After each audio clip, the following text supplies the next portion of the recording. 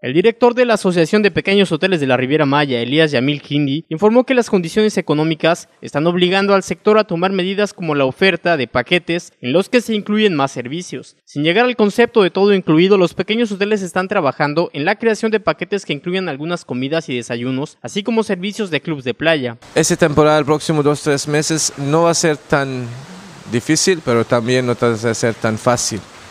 Estamos tratando que concentrar mucho en el turismo nacional, que hoy mismo es el número uno para nosotros, nuestros pequeños hoteles.